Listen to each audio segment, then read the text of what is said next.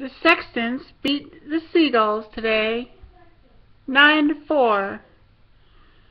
Everybody went wild, wild, wild.